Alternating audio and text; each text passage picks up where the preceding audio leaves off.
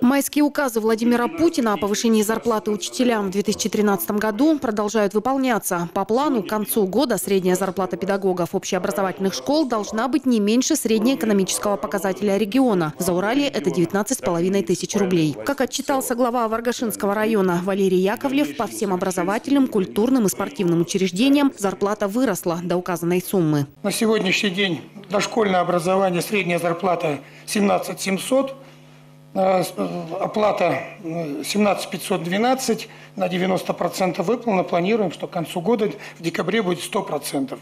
Образовательные учреждения на сегодняшний день средняя зарплата планируется 25 19 858, то есть 100%, даже 101,7% на сегодняшний плановым показателям. В Притобольном районе средняя зарплата в дошкольном образовании несколько ниже областного уровня. На это есть объективная причина. На ремонте находится самый крупный детский сад в селе Глядянское. Мы его будем планировать ну, запускать только после Нового года, а они раз на ремонте э, получают где треть зарплаты. Остальное у нас все сделано как положено. В Щучанском пока наблюдается чуть более 98% выполнения плана за счет невысокой наполняемости классов. К началу нового года организационные вопросы пообещали решить. В целом задержек по выплате заработной платы в Зауралье не будет. Особое внимание на заседании уделили качеству образования. Хотела бы обратиться к муниципальным образованиям, главам районов, чтобы мы широко все-таки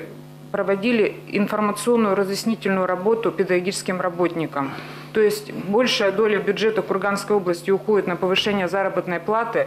И, конечно же, отдача от педагогических работников тоже должна быть соответствующая. Повышение уровня зарплаты – не единственная мера привлечения кадров в образовательную среду. В частности, молодым специалистам выплачиваются подъемные пособия. Кроме того, начинающим педагогам с маленькими детьми предоставляются путевки в детские сады. Также предусмотрено безвозмездное субсидирование на оплату первоначального взноса при оформлении ипотечного кредита.